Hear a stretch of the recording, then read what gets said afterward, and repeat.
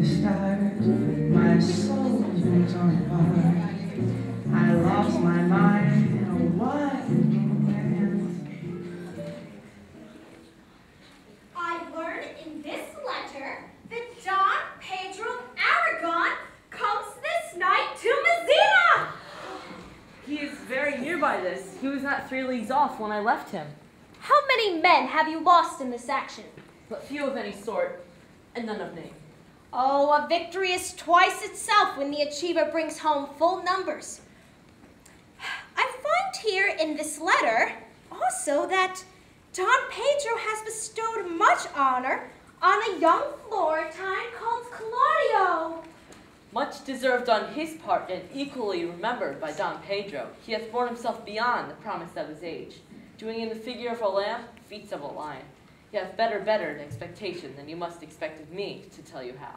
I pray you, is Signor Mountanto returned from the wars or no?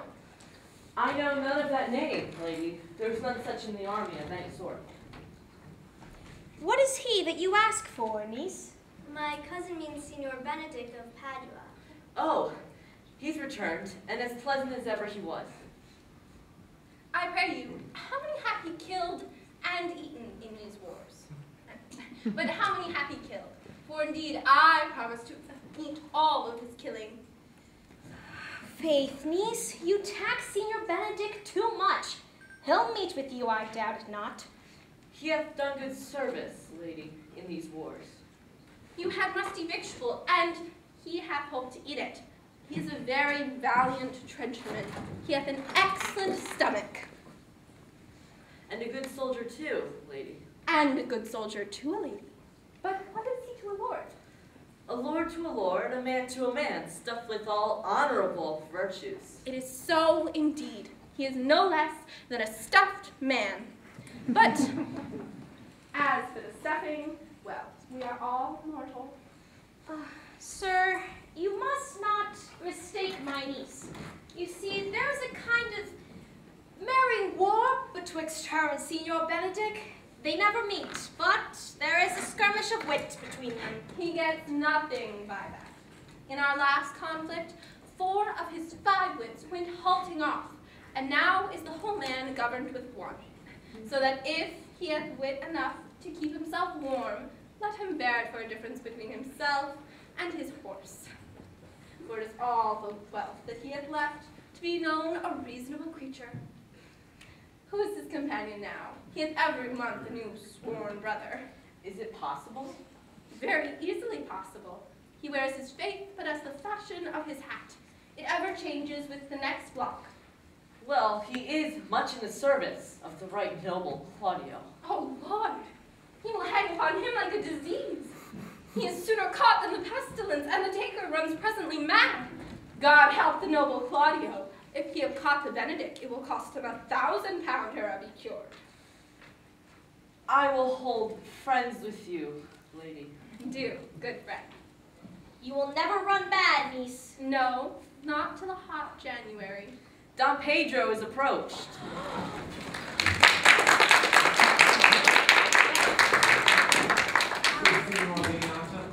What comes to meet your trouble? The fashion the world is to avoid cost, and you encounter. Oh, never came trouble to my house in the likeness of your grace. For trouble being gone, comfort should remain. But when you depart from me, sorrow abides and happiness takes his leave. You embrace your charge too willingly. I think this is your daughter. Her father hath many times told me so. Were you in doubt, ma'am, that you asked him? Signor Benedick. No, for then were you a child. You have it full, Benedick. We may guess by this what you are, being a man. Truly, the lady mother herself. Be happy, lady, for you are like an honorable mother. Signor Leonato be her mother. She would not have her head on her shoulders for all Messina, as, unlike her as she is. I wonder that you will still be talking, with Signor Benedick. Nobody mocks you. What, my dear lady disdained? Are you yet living? Is it possible that disdain should die while she hath such meat food to feed it as Signor Benedick? Courtesy itself must convert to disdain if you come in her presence. Then is courtesy a turncoat? For truly I am loved of all the ladies. Only you accepted. And I would, I could find in my heart that I had not a hard heart. For truly, I love none. A dear happiness to women. They would else be troubled with a pernicious suitor. I thank God in my cold blood that I'm of your humor for that. I'd rather hear my dog bark at a crow than a man swears he loves me. God keep your ladyship in that mind, so some gentleman or other shall escape the predestined scratched face. Scratching could not make it worse, and for a face as yours were. Well, you are a rare pair teacher. A bird of my tongue is better than a beast of yours. I would my horse had the speed of your tongue, and such good continuer. But keep your way. In God's name, I have done. You always end with the jade's trick. I know you of old. That is the sum of all, Leonato. Signor Claudio and Signor Benedick, my dear friend Leonato, has invited you all. I tell her we shall stay here at least a month. She hardly prays that some occasion or other may detain us longer. I dare swear she is no hypocrite, but prays this from her heart. If you swear, my lord, you shall not be forsworn. Ah, let me bid you welcome, my lord. Being reconciled to the prince, your brother, I owe you all duty. I thank you. I am not of many words, but I thank you. Please it your grace, Leon. Your hand, Leonato. We will go together.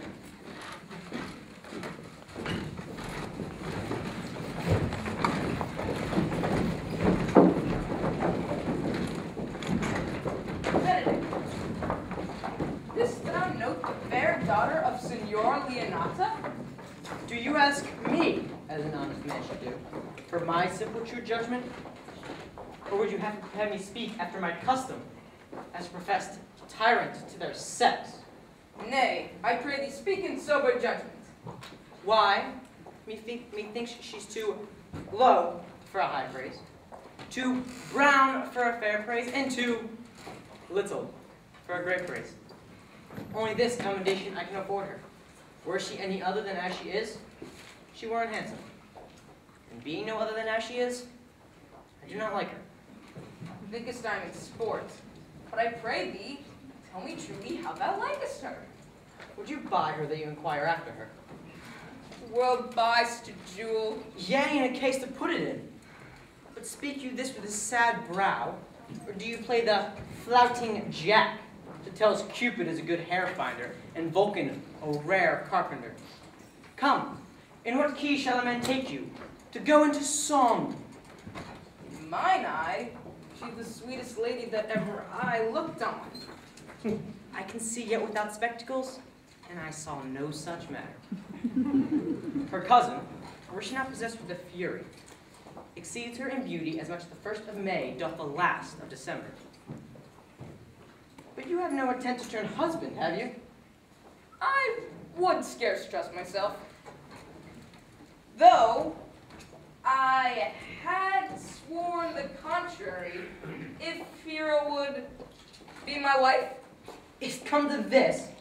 Shall I ne'er see a bachelor of three score again? Go to, in faith, that will need thrust thy neck onto the yoke, wear the print of it, and sigh away Sundays. Look, Don Pedro returns to seek you. What secret hath held you here, that you followed not to Leonato's? He is in love.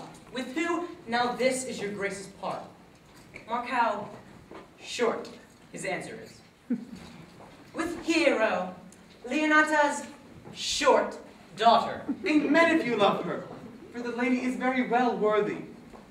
Speak this to fetch me in, my lord. By my troth, I speak my thought. And in faith, my lord, I spoke mine. And by my two faiths and troughs, my lord, spoke mine.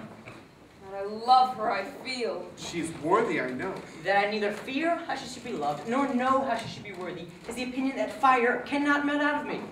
I will die in it at the stake. I was ever an obstinate heretic in the spite of beauty.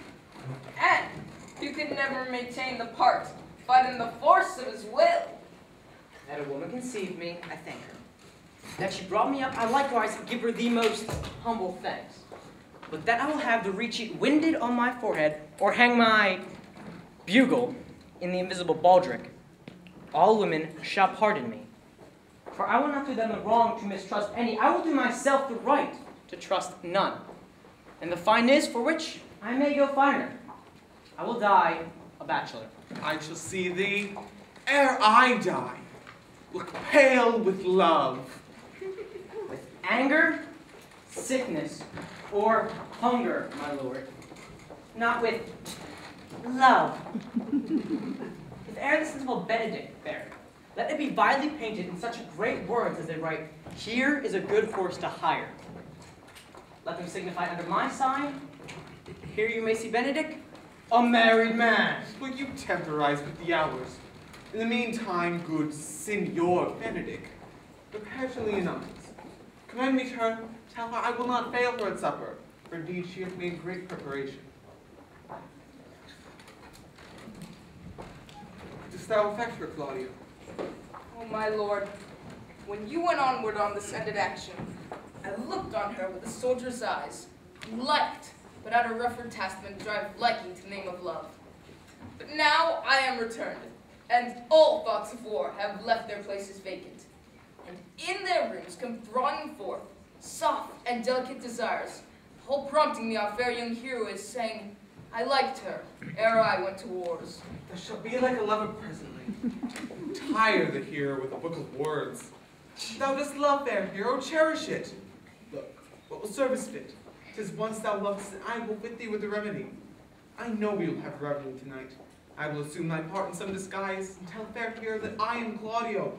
In her bosom will I enclasp my heart, and take her hearing prisoner with the force and strong encounter of my amorous tale. After to her mother will I break, and the conclusion is she shall be thine. In practice, let us put it presently.